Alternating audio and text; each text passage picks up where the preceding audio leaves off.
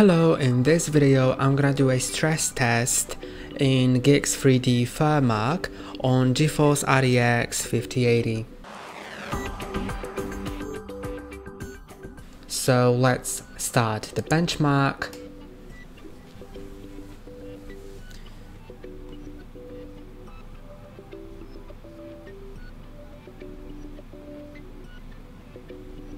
And as we can see the result is quite impressive.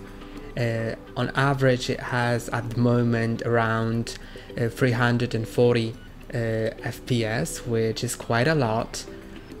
Mm, it's I believe 50 FPS more than 4090 uh, as I have tested it before.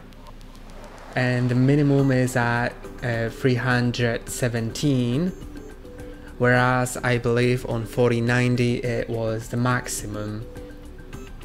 So um, the results that I see here are really really impressive.